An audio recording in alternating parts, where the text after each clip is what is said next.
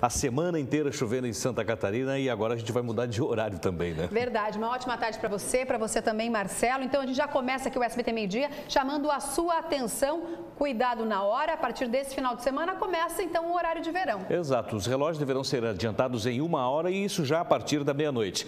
A intenção do governo é a redução de 5% aí no consumo de energia elétrica. Só que nessas primeiras horas, na mudança desse horário, muita gente acaba se arrastando porque não está acostumado com a mudança tão rápida assim, né?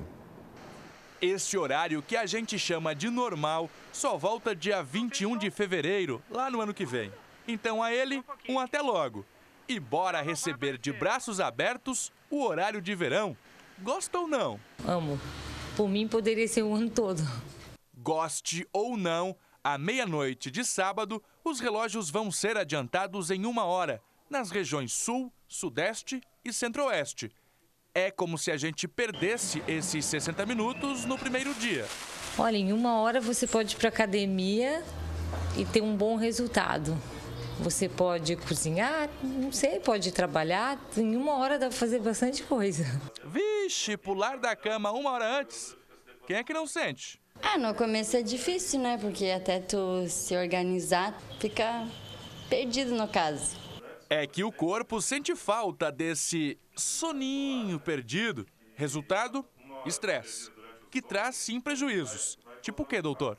Teve um estudo que mostrou que aumenta né, nos, nos, dois a três dias conseguintes à, mudança do horário de verão, a entrada do horário de verão, onde a gente perde essa uma hora, aumenta a incidência de infartos, por exemplo. Claro que aumentou numa população que já estava prestes a infartar, são, era uma população onde havia maiores fatores de risco.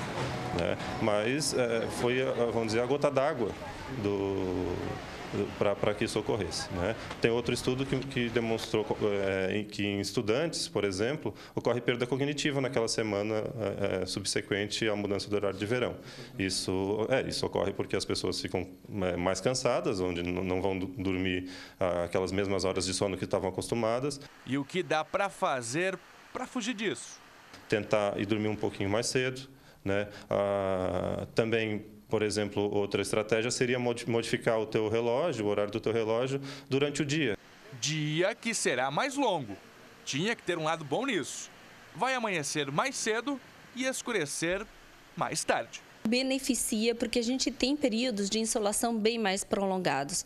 São aproximadamente 12 horas, um pouquinho mais, que a gente tem de insolação. E a proposta do horário de verão é justamente essa: explorar o tiozão aí usar mais a luz solar para economizar energia.